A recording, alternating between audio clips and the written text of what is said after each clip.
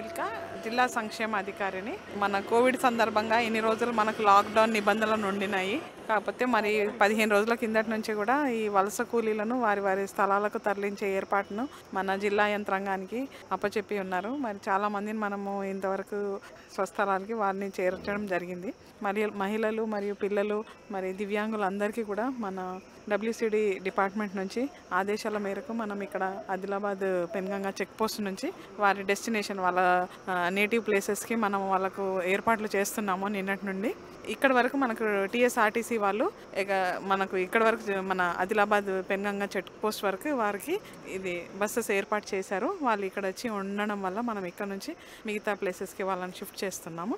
నిన్న అలాగే ఐదు వెహికల్స్ మనము పంపించాము. మూడు వెహికల్స్ ఛత్తీస్గఢ్కి రెండు వెహికల్స్ ఝాన్సీ విలేజ్కి పంపించడం జరిగింది. ఇవాళ ఉన్న వాళ్ళని కూడా మధ్యప్రదేశ్ మరి ఛత్తీస్గఢ్ విలేజెస్లో ఉన్న పిల్లలు ఉన్నారు మూడు రోజుల పాపను కూడా పట్టుకొని వచ్చిన గర్భిణీ స్త్రీలను వాళ్ళని కూడా మనము లాక్టేటింగ్ మదర్స్ని వాళ్ళకు కూడా ఆశ్రయం ఇస్తూ వాళ్ళ ఇంటి వరకు చేరదీసాము కాబట్టి వాళ్ళు క్షేమంగా చేరుకున్నారని కూడా మనకు సమాచారం ఇచ్చారు. మహిళలకు మనము మన దగ్గర మైగ్రెంట్స్గా షెల్టర్ ఉన్నప్పుడు ఇవన్నీ మనం సౌకర్యాలు చేసాము. మామూలుగా ఒక చిన్న కిట్ లాగా ఏర్పాటు చేసాము. రెండు water bottles snacks biscuits sanitary napkins అదే ఎలక్ట్రోలైట్ పౌడర్ కూడా మనం జతపరిచి హండ్రెడ్ కిట్స్ వరకు మనం పెన్గంగా చెక్ పోస్ట్లో ఎవరైనా లేడీస్ ప్రయాణం చేస్తున్న వాళ్ళకు ఇది అందజేయాలి అని చెప్పేసి మన తహసీల్దార్స్కి అప్పచెప్పడం జరిగింది. అంటే వాళ్ళకి ఏదైనా నెసెసిటీ ఉండి వాళ్ళు చెప్తే మనం ఖచ్చితంగా దాన్ని ఫుల్ఫిల్ చేయడానికి రెడీగా ఉన్నాం. వాళ్ళు ఇక్కడ ఉండాలి అనుకుంటే ఆదిలాబాద్లో ఉండాలి అనుకుంటే కూడా దానికి తగు చర్యలు మన డిస్టిక్ కలెక్టర్ చేయడానికి సిద్ధంగా ఉన్నారు. కాకపోతే ఎవరు కూడా వాళ్ళ స్వస్థానానికి వెళ్ళే తొందరలో ఉన్నారు. కాబట్టి మన మాట వాళ్ళు అర్థం చేసుకోలేకపోతున్నారు. అందుకే వాళ్ళు ఇంటికి వెళ్ళడానికే మనం వీలైన సాయం చేస్తున్నాము.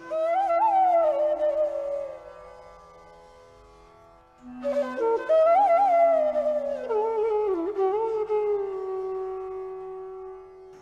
మీరు నలుగురు ఐదుగురు ఇది ఏం బండి? బొలేరో పికప్ పెట్టుకొని తిరుగుతూ ఉన్నారు. ఏమేమి పెడుతున్నారు జనం నా పేరు మొహమ్మద్ నాజిమ్. ఉదయ్ మా యూత్ మొత్తం ఇక్కడ అక్టోబస్ యూత్ తరఫు నుంచి ఒక ఇప్పటి వరకు fifty four or fifty five days అయింది. అక్కడ నుంచి కంటిన్యూ రోజు ఆఫ్టర్నూన్ టైము మళ్ళీ నైట్లో కూడా సాధ్యమైనంత వరకు నైట్లో కూడా ఫుడ్ అరేంజ్ చేస్తున్నాము. ఇక్కడ వరకు వస్తున్నాము రోజు.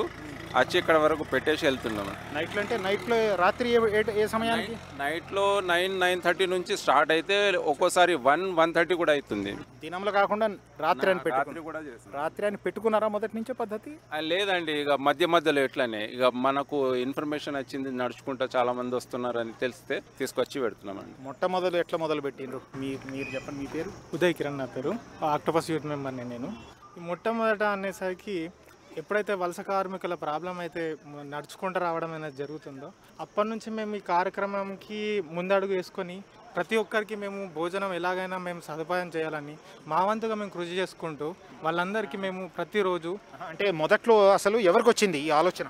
మొత్తం యూత్ మేము మా యూత్కు మేము ఆలోచించుకొని మీ మీది ఎటువంటి యూత్ క్లబ్? అక్టోపస్ అండి ఇది. అక్టోపస్ అక్టోపస్ అనే అంటే అందరూ కలిసి మిలిసి చేయాలనేది ఒక ఆక్టోపస్ అంటే దానికి ఏంటి? ఆక్టోపస్ అంటే ఇప్పుడు దానికి ఆ, అది హైండ్స్ కాళ్ళ అనేది ఎలా అయితే ఉన్నాయో మేము కూడా ఒక పది ఇరవై మంది ఒక యూత్ మెంబర్స్గా అందరికీ మేము అన్ని విధాలు అన్ని చేతుల్లాగా ఎలాగైతే ఉంటుందో ఆ- విధంగా మేము హెల్ప్ చేయాలని ఆక్టోపస్ యూత్ నేమ్ మేము పెట్టుకున్నాం. ఎన్ని సంవత్సరాల నుంచి ఉంది మీ యూత్ క్లబ్ మా యూత్ మా యూత్ వచ్చేసి ఎయిట్ ఇయర్స్ అవుతుందండి. అంతా దర్శన దర్శనాపూర్ వాళ్ళే. కృష్ణాపూర్ వాళ్ళము ఆదిలాబాద్కి సంబంధించిన టీం మెంబర్స్ మేము ఉన్నాము ఒక ఫైవ్ థౌజండ్ పైన ఇప్పటి వరకు బ్లడ్ డొనేషన్ చేశామండి. మీ పేరు చెప్పండి. నా పేరు అనుష్ కుమార్. సరే ఇప్పుడు ఈ యాభై ఐదు రోజులుగా ఈ పని చేస్తుంటే చూసిన వందలాది సంఘటనలు ఉన్నాయి కదా ఏమేమి గుర్తుకొస్తున్నాయి? ఇప్పుడంటే జనం తగ్గిపోయింది ఇవాళ నుంచి. యాక్చువల్లీ ఒక సంఘటన చూసినాము. ఒక ఒక వికలాంగులు ఒక ఒక ఆమె యాక్చువల్లీ హైదరాబాద్ నుంచి ఒక వీల్ చైర్ పైన ఆదిలాబాద్ రావడం జరిగింది. అయితే ఆమెను మేము అక్టోబర్స్ నుంచి ఆమెను ఒక లారీలో ఒక క్యాబిన్లో ఎక్కించి వాళ్ళకు ఛత్తీస్గఢ్ పంపించాం. ఒక చాలా సిచ్యువేషన్ క్రిటికల్ ఉండే ఆమెది లెగ్ ఫ్రాక్చర్. అయితే అది ఒకటి సంఘటన. రోజు చిన్న పిల్లగాళ్ళని తీసుకొని నడుచుకుంటూ వాళ్ళకు చెప్పులు లేవు కాళ్ళకు ఎండలో ఎట్లా ఘోరమైన పరిస్థితి చూ చూడలేకనే ఇది స్టార్ట్ చేశామండి దినంలో రాత్రి. మొట్టమొదటి అంటే మొదలు అసలు మొదటి ఎట్లా మొదలు పెట్టిండ్రు ఎట్లా వచ్చింది? మొదలు స్టార్ట్ చేసింది ఒక ముగ్గురు నలుగురు అనుకున్నామండి. ఇట్లా అరే చాలా మంది ఇట్లా నడుచుకుంటూ వెళ్తుండ్రు. వాళ్ళ కోసమైనా లేకుంటే పని లేకుండా ఇంట్లో ఎవరైతే ఖాళీగా ఉంటుండ్రో లేబరర్స్ ఏరియా అటువంటి వాళ్ళకు ఫుడ్ అరేంజ్ చేద్దామని first Sainagar new housing board colony మన దస్నాపూర్ పిట్టలవాడ అటువంటి స్లమ్ ఏరియాస్లలో వెళ్ళి డైలీ ఆదిలాబాద్లో మొత్తం. అక్కడ వెళ్ళి మొత్తం వాళ్ళకు మా మా ఆఫ్టర్నూన్ లంచ్ నైట్ డిన్నర్ ఒకటేసారి అరేంజ్ చేసి వచ్చేవాళ్ళం. మళ్ళీ ఇక్కడ హైవే మీద కూడా నడుచుకుంటూ వెళ్తున్నారని తెలిసి మళ్ళీ డైలీ ఇక్కడ హైవే మీద కూడా రావడం జరుగుతుంది. ఇన్ని యాభై యాభై ఐదు రోజులలో ఎంతమందికి పెట్టుంటారు మీరు భోజనం? దాదాపు ప్రతిరోజు మా మా వంతుగా ఒక మూడు వందల మందికి అయితే మేము పెడుతూ వస్తున్నాము అలాగే ఈ హైవే మీద కాకుండా లోకల్ ఆదిలాబాద్లో ఎవరైతే వలస కార్మికులు వచ్చి ఉండి ఆదిలాబాద్లో స్టే చేస్తున్న పబ్లిక్ అయితే ఎవరైతే ఉన్నారో వాళ్ళకు రోజువారీ కూలీ వేతనం ఎవరైతే ఉందో రేషన్ రేషన్ కార్డు కూడా. లేని వాళ్ళు ఉన్నారో వారికి కూడా మేము ప్రతిరోజు అందజేయడం జరిగింది అంటే మా టీం తరఫున ఒక రెండు టీంలుగా విడిపోయి ఇటు హైవే మీద కానీ అటు లోకల్లో కానీ మేము అన్నదానం అనేది కార్యక్రమం అనేది కంటిన్యూగా కొనసాగిస్తూ వస్తున్నాం మా యూత్లో ఆక్టోపస్ యూత్లో ఇండివిజువల్గా కూడా ఎవరికి చేతనైంత అంత పప్పు బియ్యం పిండి కారం ఆయిల్ ఇంకా సోప్స్ ఇవి ఇండివిజువల్గా ఎవరిది వాళ్ళు. ఎవ ఈయనకి ఎంత అవుతుందో అంత ఆయనకి ఎంత అవుతుందో అంత నాతో ఎంత అవుతుందో అంత. ఇండివిజువల్గా ఒక దగ్గర దగ్గర ఒక ఫైవ్ నుంచి థౌజండ్ ఫ్యామిలీస్కు అందరూ తన తన తోచిన తోచినంత సహాయం అందరూ చేసిండ్రు. ఇక్కడ హైవే మీద మీరు ఎటువంటి భోజనాలు పెడుతున్నారు? మొదట్లో పప్పు కర్రీ ప్లస్ రైస్తో సహా పెట్టాము. ఇప్పుడు వలస కార్మికులు కొంచెం తగ్గడంతో మేము కిచిడి రైస్ని పెడుతున్నాము. అందులోనూ పార్సల్గా వాళ్ళు తీసుకెళ్తే నైట్ టైంలో యూజ్ అవుతుందని మేము ఆ- ఇప్పుడు ఆ రైస్ని మేము ప్యాకెట్లలో పెట్టి వాళ్ళకు సప్లై చేస్తున్నాం రీసెంట్లీ రెగ్యులర్గా రైస్ దాల్ పెట్టుడు ఎందుకు కానీ నైట్ టైంలో మేము ట్వెల్వ్ హండ్రెడ్ చపాతీస్ ప్రొవైడ్ చేసినాము ఒక్కొక్క రోజు ట్వెల్వ్ ట్వెల్వ్ హండ్రెడ్ చపాతీలు కూడా మరి దాన్ని ఎవరితో చేయించారు ఇన్ని చపాతీలు? ఇట్లా అందరు కలిసి అండి ఇప్పుడు ఒక ఫ్యామిలీ ఉన్నారు. ఒక ఫ్యామిలీలో మీ ఇంట్లో ఇన్ని చపాతీస్ మా ఇంట్లో మీ ఇంటి వాళ్ళ సహకారంతో కూడా అవునవునవునండి. అందరి సహకారం వల్లనే ఇదంతా సాధ్యమవుతుందండి. అంటే ఇప్పుడు టెంపుల్స్లలో కొందరు ముఖ్యంగా మాకు చాలా మంది బ్రాహ్మిన్స్ సమాజంకి సంబంధించిన వాళ్ళు పెద్దవాళ్ళు మాకు కొంచెం అండగా ఉండి వంట విషయంలో కొంచెం సహాయం చేస్తున్నారు వాళ్ళు. ఆ, వాళ్ళతో మేము ఈ చపాతి కార్యక్రమం అనేది వాళ్ళ ఒక ప్రేరణతోటే జరిగిన వ్యవస్థ మొత్తం మీద మనం ఆదిలాబాద్ వాళ్ళు ఈ వలస కార్మికులను బాగానే చూసుకున్నట్టు అనిపించిందా? ఆదిలాబాదు చుట్టుపక్కల గ్రామాలు. అవునండి ఇక్కడ చూస్తా ఉంటే ఇప్పుడు ఇక్కడ ఉన్న టోల్ గేట్ దగ్గర పిప్పర్వాడ అనే టోల్ గేట్ దగ్గర ఉంది. ఇక్కడ మన ఆక్టోపస్ యూత్తో పాటు ఇంకా మరికొన్ని యూత్ ఆదిలాబాద్ నుండి మరి రెడ్ క్రాస్ సొసైటీ కానివ్వండి మళ్ళీ లోకల్కి సంబంధించిన సర్పంచ్ ఎవరైతే ఉన్నారో ఇక్కడ ఉన్న రామ్ మందిర్లో వాళ్ళు వంట వండించి వాళ్ళు కూడా చాలా వరకు అంటే చాలా వరకు వాళ్ళు భోజన సదుపాయం అనేది ఈ హైవే మీద వెళ్తున్న వరకు అందరికీ నా పేరు చరణ్ గౌడ్ సార్. మన Octopus youth president sir. Two thousand ట్వెల్వ్లో మా ఆక్టోపస్ అనేది మేము పెట్టినాం సార్ యూత్. అప్పటి నుంచి బ్లడ్ డొనేషన్స్ చైల్డ్ ప్రొటెక్షన్ మీద మన Rajendra Prasad sir district child protection officer వాళ్ళతో పనిచేయడం. ఇలాంటి పరిస్థితిలో ఉన్నప్పుడు మేము సామాజిక బాధ్యత అంటే దేశ యువతగా మాకు బాధ్యత ఉంది కాబట్టి మేము ఇలాంటి సేవా కార్యక్రమాలు చేస్తాం ఈ ఫార్టీ ఫైవ్ ఫిఫ్టీ డేస్ నుంచి ఈ ఫుడ్ డిస్ట్రిబ్యూషన్ కంటిన్యూగా చేస్తున్నాం సార్ మేము. అయితే ఫార్టీ ఫైవ్ ఫిఫ్టీ డేస్ ఇట్లా ఇంతకుముందు ఎప్పుడు ఇంత పెద్ద పని చేయలే కదా మీరు? చేయలేదు చేయలేదు సార్. అంటే మేము ఒక్కలమే కాదు సార్ దీనికి ప్రతి ఒక్కరి సహకారం దొరికింది అనమాట మాకు. అంటే మేము వంట చేయడం ఒకరు కొందరు ఫ్రీగా మాకు చేయి అంటే కొందరు బ్యాగ్స్ ఒక్కొక్క అంతా మీ బస్తీ వాళ్ళ ఎక్కడ? అంటే అలా ఏం లేదు సార్ ఆదిలాబాద్లో. ఆదిలాబాద్లో ప్రతి ఒక్క ప్లేస్ నుంచి ఒక్కొక్కరు ఒక్కొక్క రకంగా సాయం మాకు అందించడం వల్ల మేము ఇది చేయగలిగినాం సార్. ఇప్పుడు మాకు రామాలయం టెంపుల్ మన ఈ బ్రాహ్మణ సంఘం వాళ్ళు మాకు ఈ ఫుడ్ రెడీ చేయడము అంటే మేము అన్ని ఏదైనా వస్తువులు ఇస్తే వాళ్ళన్ని ఫుడ్ తయారు చేసి ఇవ్వడము. ఒక్కొక్కరు ఒక్కొక్క టైప్లో సార్ ఇక ఒక్కొక్క యూత్ కొందరు సపోర్ట్ చేయడం రైస్ బ్యాగ్స్ సపోర్ట్ చేయడము ఆయిల్ ప్యాకెట్ సపోర్ట్ చేయడము అట్లా ఒక్కొక్కరు ఒక్కొక్క రకంగా సపోర్ట్ చేయడం వల్ల మేము ఇంత పెద్ద ప్రోగ్రామ్ చేయగలిగాము సార్. ఎట్లా ఉంది. మరి ఇప్పుడు ఇంకా రేపటి నుంచి జనం తగ్గిపోయేటట్టు ఉన్నారు బాగా ఇవాళ లేదు సార్ ఇంకా చాలా మంది ఉన్నారు సార్. ఇంకా వస్తూనే ఉంటారు. మేము అయిపోయింది అనేసి ఫార్టీ ఫైవ్ డేస్కే క్లోజ్ చేసినాం. టూ డేస్ తర్వాత మళ్ళీ ఈ ఒక చూస్తుంటే మేము షాక్ అయ్యి మళ్ళీ మేము మళ్ళీ ఫుడ్ ఒక టూ డేస్ మిడిల్ ఆపినాం. ఇది పరిస్థితి చూసి మళ్ళీ మేము స్టార్ట్ చేసినాం సార్ ఇక ఫుడ్ డిస్ట్రిబ్యూషన్ అనేది కంటిన్యూగా ఎట్లా ఉంది? ఈ సహాయం పొందుతున్న వాళ్ళు ఏమన్నా మాట్లాడుతున్నారా వాళ్ళు అసలు ఏమి మాటలు లేకుండా వాళ్ళకి ఒకటే సార్ వాళ్ళకి తిండి లేకపోయినా పర్వాలేదు. మా ఇంటికి వెళ్ళాలనేది అది ఒకటే మైండ్లో ఉంది. మాకు అన్నం కూడా అవసరం లేదన్న మా ఇంటికి ఎట్లయినా ఏదో ఒక హెల్ప్ చేయండి మేము ఇన్ని రోజుల నుంచి అది ఒకటే వాళ్ళు వేడుకునేది చాలా వరకు ఇప్పుడు ఇక ఫార్టీ ఫైవ్ డేస్ తర్వాత గవర్నమెంట్ దాని మీద రెస్పాన్స్ అయ్యి ఇప్పుడైనా ఛాన్స్ ఇది ఈ టైంలోనే చలో ఇన్ని రోజుల తర్వాత వాళ్ళకి ఒకటి చేయంగానే ఆ రకంగా పాపం వాళ్ళ లారీస్లో వీటిలో ఎక్కేసి వెళ్ళిపోతున్నారు. ఇంకా చాలా తీసుకోవాలి. అంటే నేను ఒక రిక్వెస్ట్ గవర్నమెంట్కి ఏంటంటే అంటే విమర్శించడం కాదు ఇంకా చేయాలి. వీళ్ళ గురించి ఇంకా చర్యలు చాలా చేయాలి. అంటే ఎక్కడో హైదరాబాద్లో ట్రైన్స్ పెట్టడంతో ఇది సరిపోదు. ఎందుకంటే హైదరాబాద్ నుంచి ఆల్రెడీ బయలు బయలుదేరి మీరు నడుచుకుంటూ వెహికల్స్లో. లారీస్లో అందరూ వాళ్ళ గమ్యస్థానానికి చేర్చలేరు. ఏదో ఒక ఫార్టీ కిలోమీటర్స్ హండ్రెడ్ కిలోమీటర్స్ తీసుకెళ్ళి వదిలేయడం మళ్ళీ ఆ నుంచి నడుచుకుంటూ వెళ్ళడం మళ్ళీ ఇంకేదో లారీ దొరికితే మళ్ళీ అక్కడ నుంచి వెళ్ళడం ఇలా కష్టపడుతూ వాళ్ళ ఊరికి వెళ్తున్నారు. కాబట్టి ఇక్కడ ఎక్కడైతే ఉన్నదో వీళ్ళందరినీ ప్రతి డిస్టిక్ వాళ్ళు గవర్నమెంట్ వీళ్ళందరినీ అక్కడనే స్టాప్ చేసి వాళ్ళకి ఏముంది ఏ ఊరికి వెళ్తారు లిస్ట్ అవుట్ చేసేసి వాళ్ళని పంపించాలి ఆ ఒక కార్యక్రమం తీసుకుంటే ఇంకా చాలామంది హ్యాపీగా వెళ్తారని మా భావన. ఇంతమందికి భోజనం పెట్టిన ఇంతమందితో మాట్లాడినరు వాళ్ళ ఊర్లకు చేరిపోయిన తర్వాత ఎవరైనా మీకు ఫోన్ చేసి చెప్పినరా ఆ, చెప్పారు సార్. మేము ఏంటంటే అంటే అట్లా చాలా మంది చెప్పారు స్పెషల్లీ ఏంటంటే మేము ఒక రెండు కాళ్ళు అన్నమాట ఫ్రాక్చర్ అయింది సార్. వాళ్ళని మేము వెళ్తుంటే వాళ్ళు ఆల్రెడీ వెళ్ళినాక ఫోన్ చేసిర్రు. కొంచెం ఏమైనా హెల్ప్ చేయండి అంటే కూడా మేము ఆల్రెడీ వాళ్ళకి కొంచెం మనీ కూడా హెల్ప్ చేసినాం సార్. అందరం కలిసి మేము మాతోనే అయింది. వాళ్ళని ఏదో వెళ్ళిపోయారు మర్చిపోకుండా వాళ్ళు వెళ్ళిపోయినాక కూడా మాకు ఏంటంటే సాటిస్ఫై కావాలి ఎందుకంటే ఆ పరిస్థితి వాళ్ళు చూసినాం రియల్గా వాళ్ళది మరీ ఘోరమైన పరిస్థితి ఉందని మేము అందరం మనీ కలెక్ట్ చేసుకుని ఫుడ్ అనే కాదు ఫుడ్గా ఫుడ్తో సహా ఇంట్లో ఏదైతే వస్తువులు అవసరం ఉంటాయో బియ్యం పప్పులు నూనె మ, సబ్బులు అవి కూడా ఇస్తున్నామండి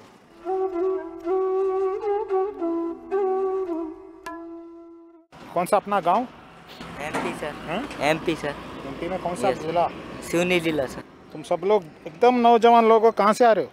तमिलनाडु सर तमिलनाडु में क्या काम करते थे वहाँ पे? सर ये मजदूरी करते थे। मतलब कैसे काम पे? किस तरह के काम पे मजदूरी करते ये सेंटिंग का काम पे सर। सेंटरिंग का? हाँ। हाँ तो वहाँ से यहाँ तक आदिलाबाद तक कैसे कैसे पहुँचे आप लोग? कुछ दूर ट्रक वाले ने लेके आए पैसे लिए। कुछ दूर पैदल आए। क्या नाम आपका? मेरा नाम अभिषेक सर। अभिषेक तो ये सब लोग क्या एक ही गाँव के हैं या दूसरे दूसरे गाँव के आप दस बारह लोग हो ना हाँ कुछ लोग दूसरे गाँव के कुछ लोग गाँव के हैं। कुछ आपके गाँव के? हाँ। कौन सा जिला ये आपका? सिवनी। आप लोग तो एकदम स्कूल कॉलेज में पढ़ने वाले लड़के लगते हो मुझे। सर ऐसा था कि घर में कोई कमाने वाला भी नहीं है तो बाप में तारी भरे उनकी सेवा के लिए तो कुछ करना पड़ेगा नहीं सभी के हाल ऐसा ही है क्या? अब सभी का हाल भी ऐसा ही है और सबका हाल भी ऐसा भी नहीं है सर नहीं आप लोगों की अपनी ज़मीन है नहीं है? अपने नाम पे नहीं है पर दादाजी के नाम पे तो वो अपन नहीं करते ना। अब यहाँ पे क्या कुछ थोड़ा बहुत बचा सकते थे सर हम जिसके कांटेक्ट पे गए थे तो वो भी छोड़ के चला गया और जिसके अंदर काम कर रहे थे वो भी छोड़ के चला गया। जिस दिन से लॉकडाउन लगा उस दिन से मतलब काम मिला ही नहीं है फुटपाथ में रहे पंद्रह दिन तीन महीने से काम नहीं किए तीन महीने से तो लॉकडाउन लगा है। पैसे धेले कुछ नहीं है साहब। अब खाना कहाँ कहाँ ठीक से मिला आपको? तो खाना यहाँ हैदराबाद में मिला और हैदराबाद से एक गाँव था उधर बोले सरपंच सरपंच बोलते हैं बोल रहे थे वे वहाँ पे मिला और यहाँ पे मिला। आंध्र बॉर्डर मिला था। तो अब कैसे पहुँच जाओगे अपने गाँव? साहब पहुँचा दें तो ठीक नहीं पैदल जाएँगे।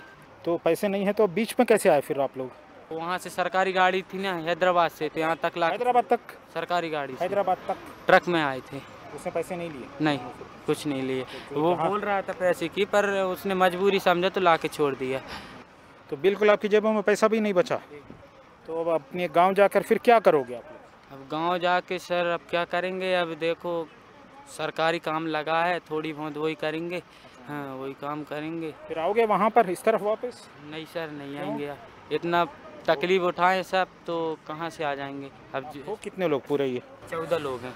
हाँ अगल बगल के गाँव वाले मिला के हमारे साथ जो काम कर रहे थे वो चौदह लोग हैं।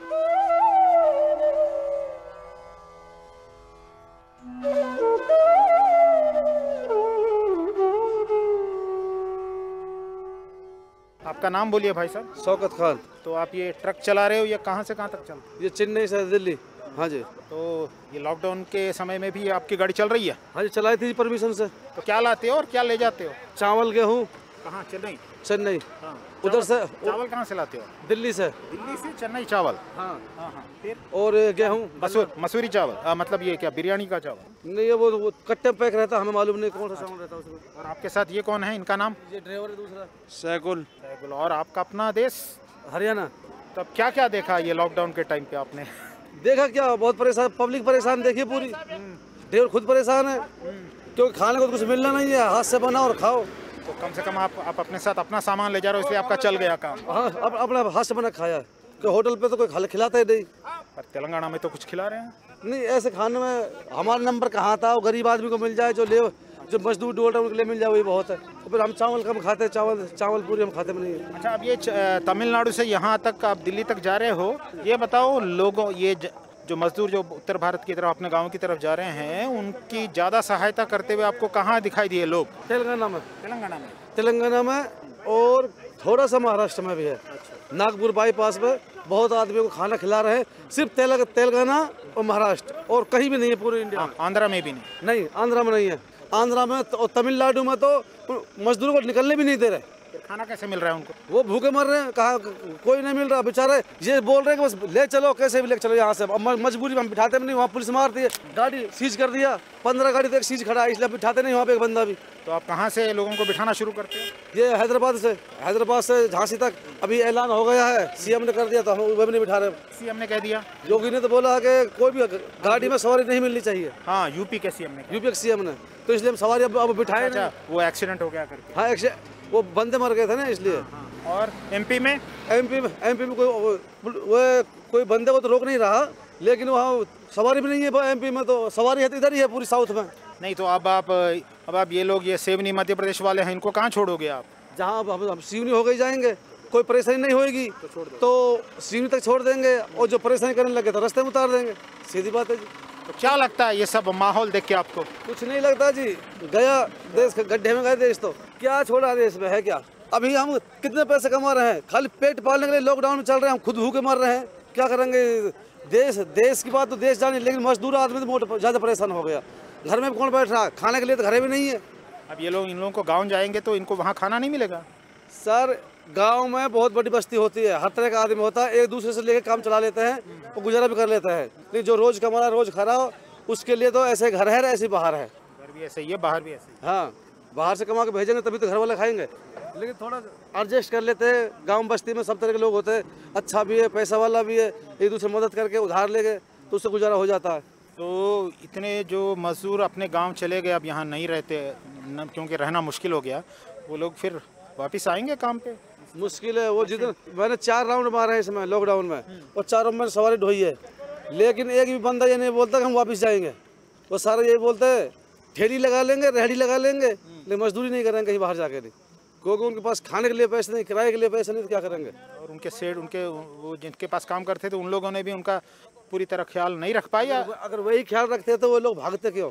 ये तेलंगाना में अच्छा काम किया है और महाराष्ट्र में हो रहा है कि महाराष्ट्र में बाईपास में इतने बंदे खाना खिला रहे हैं हर टूल पे खाना पानी चाय और नाश्ता भी करा रहे हैं महाराष्ट्र में भी। और तेलंगाना में पूरे में है लेकिन हैदराबाद से और यहाँ हैदराबाद तक भी। तेलंगाना में सबसे अच्छा काम हुआ है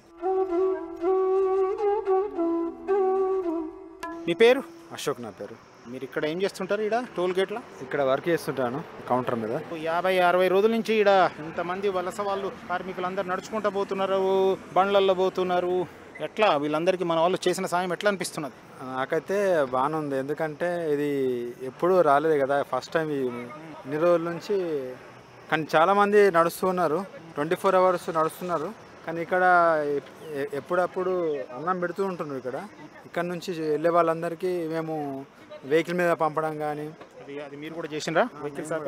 మేము కూడా చేసాము. మళ్ళీ వాళ్ళకు ఫుడ్ కానీ అరేంజ్ చేయడం కానీ అన్నీ ఇక్కడ జరిగింది ఇక్కడ. ఇంతకుముందు జరిగింది. రోజు ప్రతి ఒక్కళ్ళు పెడుతున్నారు డైలీ డైలీ. కాకపోతే ఆ లేడీస్కి బాగా ఇబ్బంది అవుతుంది ఇక్కడ. మీరు ఎవరికి సాయం చేయగలిగినారు నేను చేశాను నేను వాటర్ కానీ కూలింగ్ వాటర్ లోపల తెచ్చాను వాటర్ కానీ ఇంకా అవి ఉంటాయి కదా పుచ్చకాయ ఉంటాయి కదా అవన్నీ ఇచ్చినాం మేము ఇక్కడ. ఇప్పుడు ఇక జ్వరం తగ్గిపోయింది ఇక రేపటి నుంచి ఉండరేమో? మ్యాక్సిమం తగ్గినట్టే కొద్దిగా. చూడాలి అయినా కూడా చెప్పలేము కదా? చెప్పలేము చెప్పలేము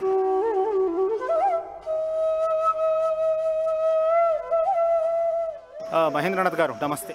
ఈ చెక్ పోస్ట్ కేంద్రము దీని ఏర్పాటు ఎట్లా జరిగింది దీని నిర్వహణ ఎట్లా జరుగుతుంది రోజు అటు నుంచి మన తెలంగాణ వైపు నుంచి వచ్చి మహారాష్ట్ర వైపు పోయే వాళ్ళను మహారాష్ట్ర వైపు నుంచి పైనుంచి వచ్చి మన వైపు నుంచి పోయే వాళ్ళను అందరినీ మీరు ఇక్కడ స్క్రీనింగ్ చేస్తున్నారు కదా.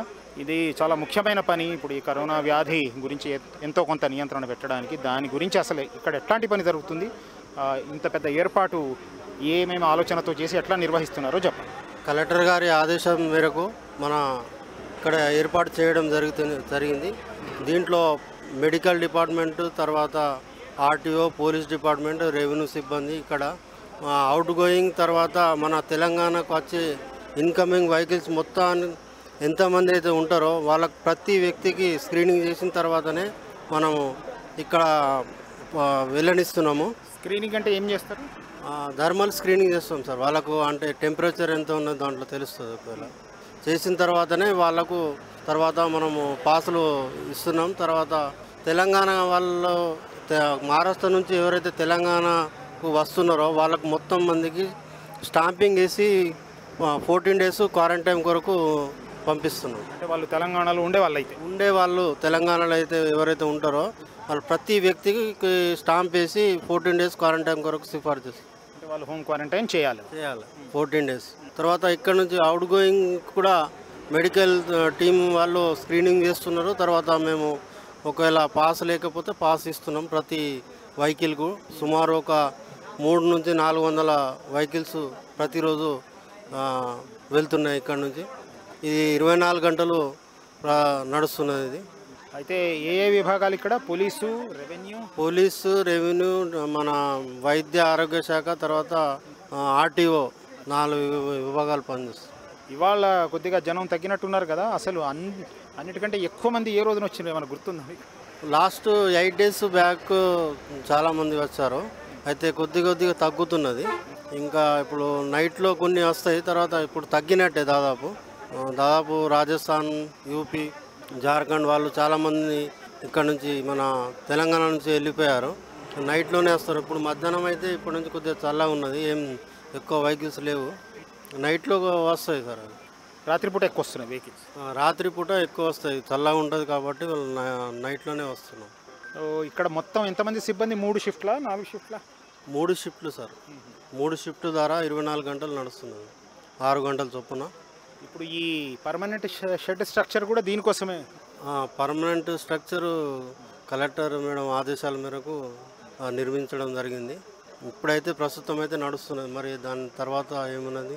సరే, ఇక కరోనా ఎన్ని రోజులు ఉంటుందో తెలియదు కాబట్టి. తెలియదు కాబట్టి గైడ్ లైన్స్ ప్రకారం సరే అయితే ఇప్పుడు ఎక్కడి నుంచి మీకు ఏం ఇబ్బందులు వస్తున్నాయా? ఈ వెళ్ళే వాళ్ళ వల్ల వచ్చే వాళ్ళ వల్ల? ఆ, అటువంటి ఇబ్బందులు ఏమి వస్తలేదు సార్. చాలా ధన్యవాదాలు. మొత్తం పనితో నిరంతరం చేస్తూ అలిసట్లో ఉన్నారు మీరు. Okay. Thank you sir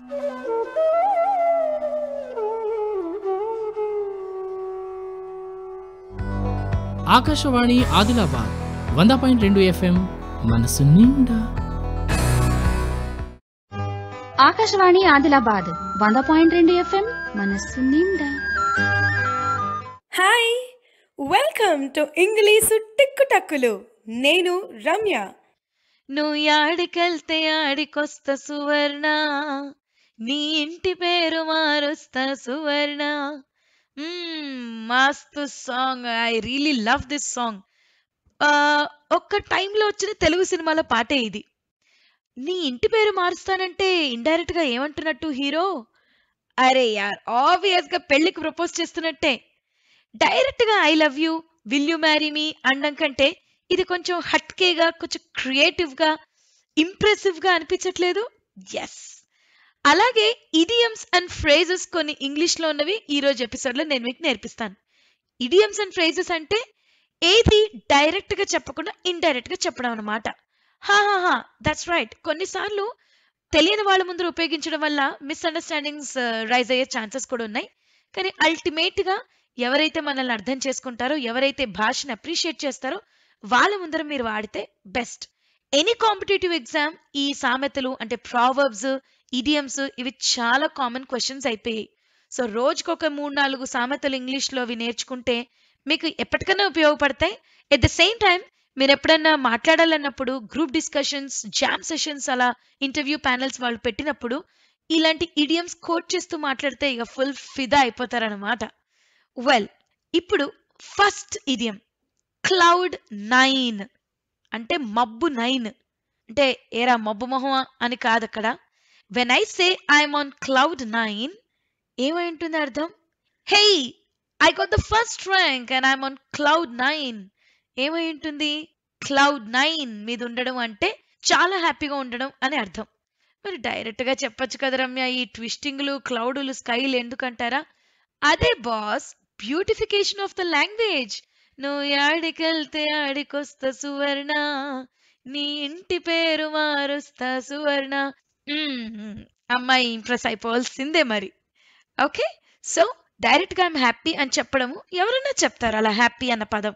ఇంకొంచెం వెరైటీగా ఇంకొంచెం మెచ్యూర్డ్గా సూపర్గా ఇంగ్లీష్ని వాడాలి అంటే hey I'm on cloud nine అని అనాలి.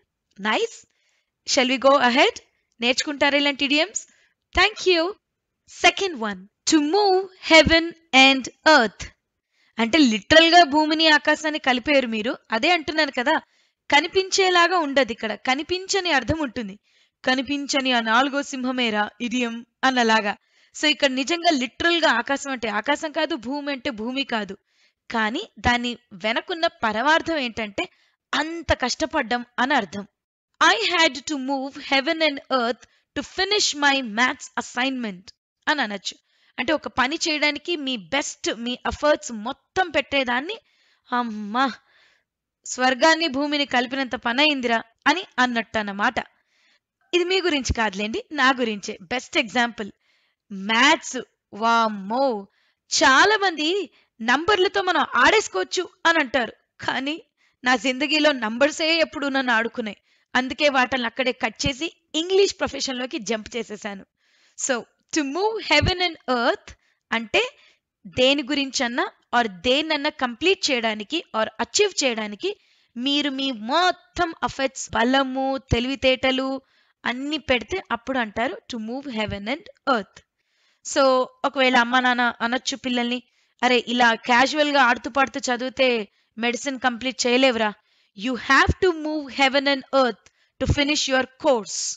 అంటే అంత హార్డ్ వర్క్ పెట్టాల్సిందే అప్పుడే ఎంబీబీఎస్ కంప్లీట్ చేయగలుగుతాం అన్నమాట. అలా అన్నట్టు. Next one.